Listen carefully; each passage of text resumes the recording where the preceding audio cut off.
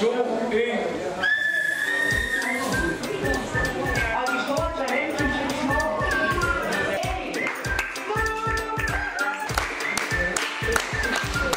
Frivillig Aalborg, som modtog hele Nordlands håndtrækning i 2020 og 2021, havde tirsdag aften sommerfest med de olympiske lege, og dommerduen bestod af Oliver Ross og Anusike Ementa. Det har været en øh, hyggelig aften herinde, og øh, vi har hygget os meget, med Anu og få lov til at være dommer for, øh, ja, for en masse børn og en masse sjov lege. Så øh, det har været en hyggelig aften, og vi har nydt det.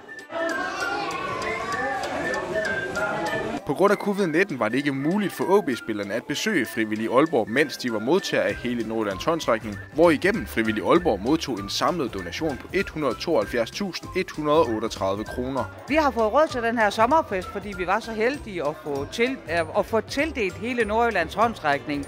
Og det er det, der har gjort det muligt at have så mange glade mennesker her i dag. Og det er fantastisk.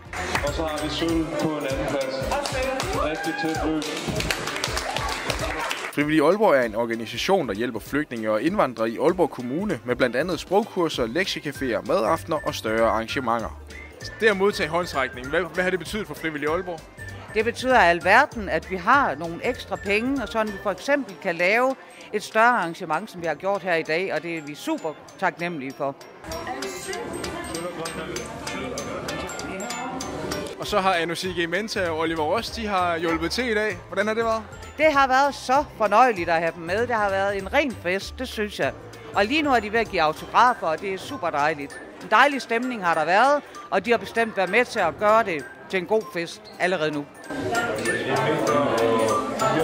Jeg synes, det er sindssygt fedt, øh, at, øh, at vi øh, som klub er med til at, gøre noget, som, øh, som hjælper folk i, i, i det store billede. Så jeg synes, det, det er mega fedt og, og hyggeligt, at man, at man samler folk og, og laver noget, som, som gør alle glade.